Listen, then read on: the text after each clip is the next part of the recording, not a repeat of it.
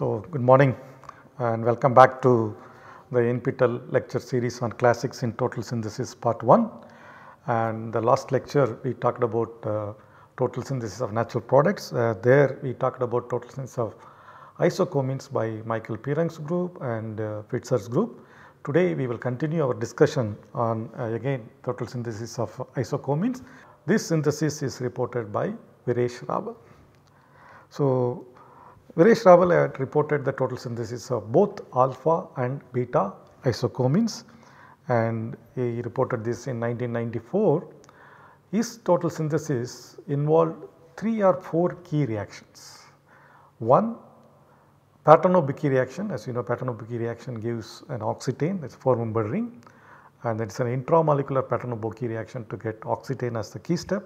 Second opening up the oxetane to get homoallylic alcohol okay highly regioselective opening of the oxetane to homoallylic alcohol followed by a simple fragmentation reaction which converts the bridged system into fused system. So, these are three key reactions which Rawal has used in the total synthesis of isocomenes.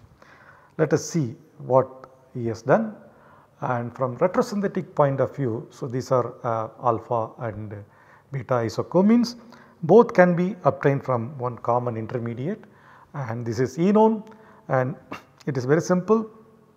The 5 exo radical cyclization can be used successfully to construct the third 5 membered ring. Already there are 2 5 membered rings. And the third 5 membered ring can be easily constructed by this 5-exo radical cyclization.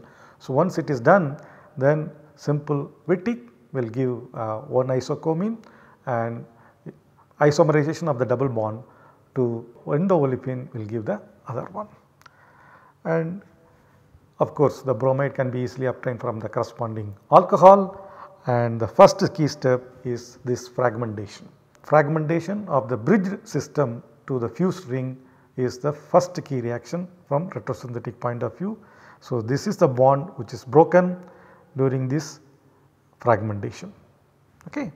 and this can be obtained from this oxetane using a regioselective opening of the oxetane followed by oxidation of the secondary alcohol you get this beta gamma unsaturated enone. And this can be easily obtained from this bicyclic compound um, by another key reaction which is Paterno-Buchi reaction. Paterno-Buchi reaction is nothing but photochemical reaction between an alkene and a carbonyl group. So, this is an intramolecular Paterno-Bicchi reaction and this can be obtained from cyclopentadiene and this enone followed by alkylation. So, in two steps one can get this interesting bicyclic compound starting from cyclopentadiene. So, before we start discussing the total synthesis of isocomenes reported by Rawal, as I said there are 3 key reactions and we will briefly discuss about these 3 key reactions. First it is a Paterno-Buchi reaction, Paterno-Buchi reaction is nothing but it is a photochemical reaction 2 plus 2 reaction between an alkene and a carbonyl group. Suppose if you start with benzophenone and isobutylene under photochemical condition you get this 4 membered ring. And one can also do the same thing with an aldehyde okay basically it is a reaction between a carbonyl group and an alkene. So, if you do the same thing with benzaldehyde and dihydrofuran you end up getting this bicyclic compound okay and this was cleverly used in Viresh Rawal's total synthesis. The second key reaction is the conversion of an ester into methyl ketone. So, this was reported by E. J. Corey where if you have an ester and then treat with this lithium dimethyl sulfoxide okay you take dimethyl sulfoxide and then generate anion here this can add to your ester to form this beta keto sulfoxide. This upon reduction with aluminum amalgam okay that will give you the corresponding ketone okay this can be easily cleaved under this condition reduction condition okay. The third one which is very important uh, from the point of view of uh, synthesis of uh, these isocomenes is the opening of the oxetane ring. How these oxetanes can be successfully opened. So, I will give one example which was reported by Viresh Rawal before we go to the total synthesis. If you do a Diels-Alder reaction between cyclopentadiene and methyl vinyl ketone, you get this endo product. Once you have this endo product, then shine light to carry out the intramolecular Paterno-Buchi reaction to get this tetracyclic compound. Okay. This oxetane can be opened by strong base. Okay. It can be opened by strong base like LDA to get the corresponding alcohol. Okay. Once you have this alcohol then you can use any oxidizing condition for example Swern oxidation will give you the corresponding ketone. Okay. So, now in 4 steps one could get successfully this tricyclic compound. Now what you need is you need to remove or break this bond to get a diquinane skeleton. Okay. So that was successfully done with one of the two reagents one either with lithium ammonia or with LIDBB. LIDBB is nothing but lithium ditertiary butyl biphenyl, lithium ditertiary butyl biphenyl. So basically uh, both reagents give one electron. So one when one, one electron is added to this carbonyl group you get a radical anion okay. Then the radical opens up to give this required skeleton okay. So let us see how, how does it work. So once you have this enone and when you add this one electron as I said it forms this radical anion. So the radical anion is not stable okay. So it has to open up. So if there are two ways a bond can break to give more stable compound or more stable intermediate you should know whether bond A breaks or bond B breaks okay because once you have that radical here so it can easily break. If bond A breaks if bond A breaks you will get this enolate and an allylic radical okay and that should give you this enone. So, you have a diquinane with the ketone.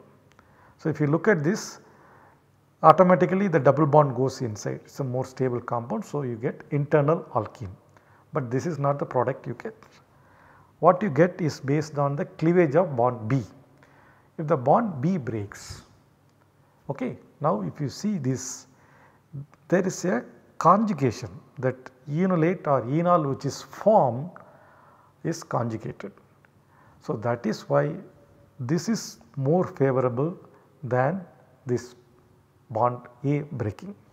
So, when the bond B breaks you get this dienol that tautomerizes to give this conjugated enol. Okay. So, in one step you can convert this into bicyclic enol. Okay, this is the key step. Okay, there are three key steps Paterno-Buchi reaction and conversion of ester to ketone then opening up this. Now let us see how he achieved the synthesis of isocomenes. So he started from cyclopentadiene and then did a Diels-Alder reaction with this dienophile methyl crotonate and you heat it you get this compound. Now the next step should be to remove the methoxy with methyl, but before that you need to do alkylation at this carbon okay because you need a 3 carbon unit which should be attached here that 3 carbon is required for intramolecular radical cyclization. So, before you convert this methoxy into methyl what you should do is you should alkylate here because if you convert this methoxy into methyl then the alkylation can go to the methyl group. So, that is why the alkylation should be done at this stage. So, you take this ester then treat with the LDA and then quench with this iodide. So, this iodide is prepared in 3 steps from this propane 1 3 diol. Okay. So, you protect one of the alcohol as mom ether then convert the other alcohol as mesylate and then treat with sodium iodide you get this iodo compound. Now you generate anion here and then quench with this iodide and it goes stereo selectively it goes to the exo position. So, now what you can see here is the methyl group here and this side chain that is a 3 carbon unit they are cis to each other because this stereochemistry will be maintained when you do the next step. Okay. Next you have to convert this methoxy into methyl group as I said you can follow Corey's procedure. So, that reaction worked well to get the corresponding methyl ketone.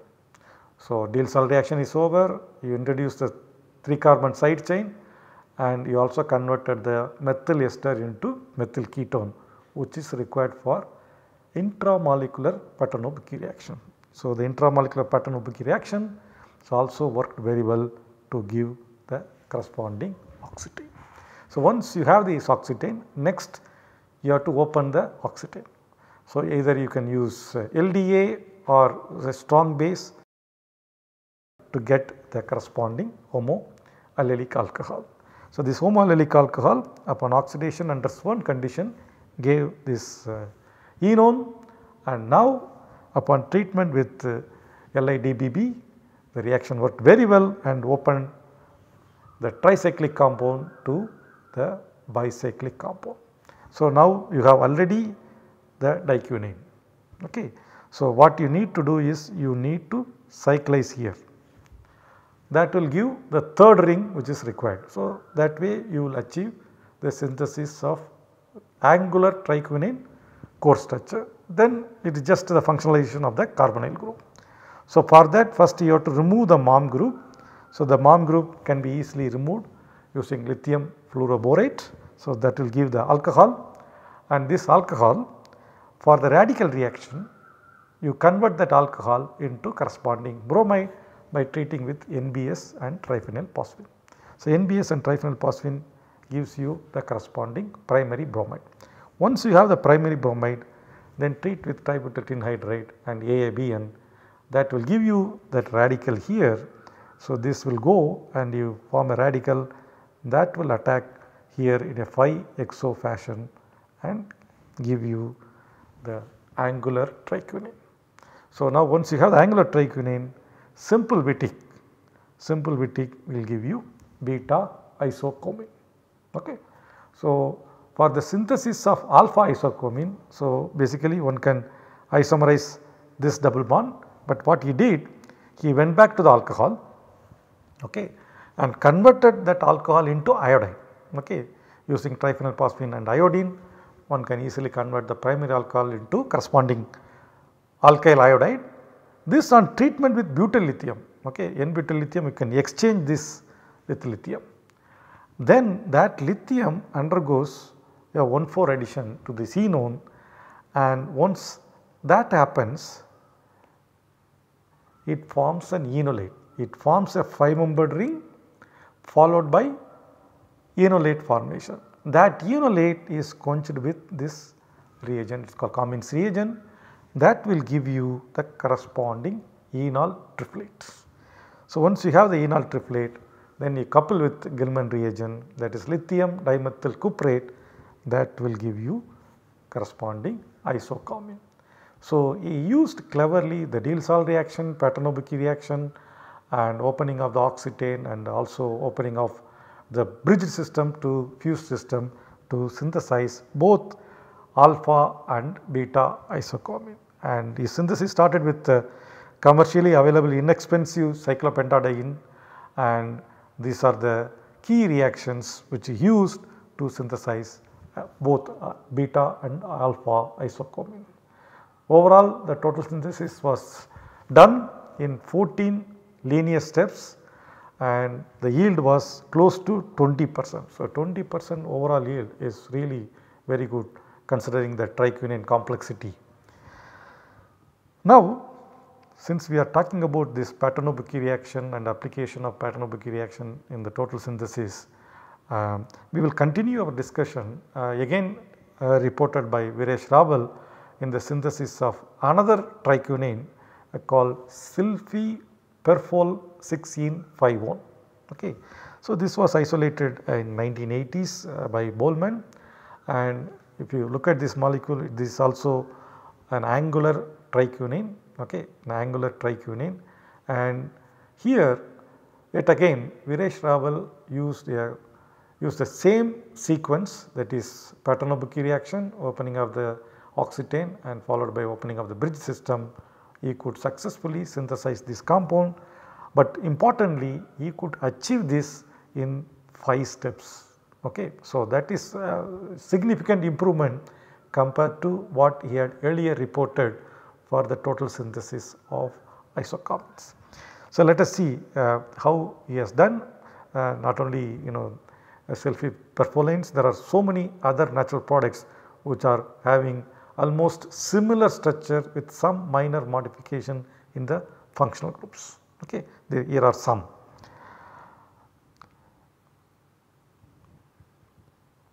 His retrosynthesis actually started with uh, you know this oxetane.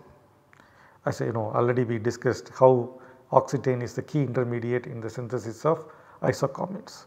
So, his precursor is this oxetane that oxetane can be redrawn like this. Okay. Now this oxetane as soon as you look at this oxetane you know what should be the precursor. The precursor is nothing but this tricyclic system. So one can do an Paterno-Buchi reaction to get this intermediate. Okay. And this can be easily synthesized from Diels-Alder reaction. If you start with uh, 2,4 dimethyl cyclopentadiene and this cyclopentene having a carbonyl group as dienophile, this Diels-Alder reaction will straight away give this tricyclic compound. So, he started this synthesis with uh, 2,4 dimethyl cyclopentadiene and cyclopentene uh, having a carbonyl group for the Diels-Alder reaction he used a europium salt okay, this 10 mole percent actually helped in getting exclusively the endoisomer. Okay. So, now if you look at this he got uh, how many chiral centers though it is a racemic synthesis. So, so 1, 2, 3, 4, 5. Okay. So, all these chiral centers are fixed in one step that is Diels-Alder reaction. Okay. So, it is a relative stereochemistry, but still you get only one relative isomer. Once you have that then you carry out the intramolecular photochemical 2 plus 2 cycloaddition that is Paterno-Buchi reaction to get this oxetane.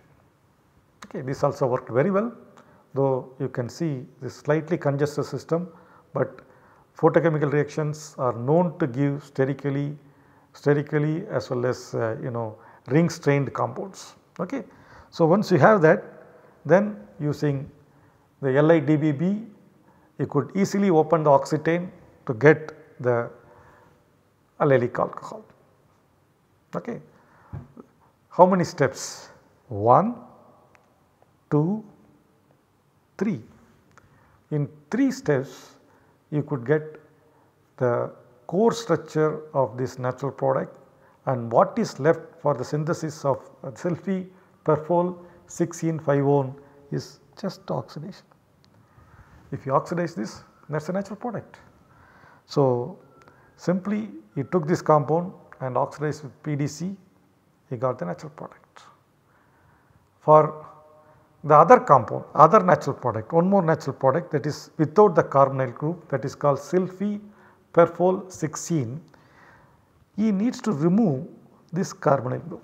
So, he tried several conditions to remove this carbonyl group, but all of them gave poor yield of the required compound plus complex mixture. So, he has to go via a two step process. First he acetylated the allylic alcohol to get the corresponding acetate. Then he treated that with lithium in 1,2 diaminoethane. So, that gave the other natural product which is sulfy perfol 6E. Okay. If you look at the synthesis as I said both the natural products are made in 4 steps and 5 steps. The first one was made in 4 step and the second one was made in 5 steps. And this was reported by Viresh Rawal group in 2000 and synthesis started from 2,4-dimethyl cyclopentadiene as in the case of isocomenes. Here also the key reactions are intramolecular Paterno-Buchi reaction and the cleavage of oxetane and cleavage of the CC bond using lithium ditertiary biphenyl and more importantly if you look at the total synthesis it involved only 4 and 5 steps. Okay. The first natural product it, it took only 4 steps and for the second natural product it took only 5 steps and the overall yield is extremely high 33 percent and 35 for synthesis of angular triquinane is extremely high. Uh, one of the very efficient synthesis of angular triquinane reported by Viresh Rawal. So, with this uh, uh, we have completed the total synthesis of uh, 4 triquinanes and we will continue our discussion on the synthesis of more angular triquinanes followed by linear triquinanes. Okay. Thank you.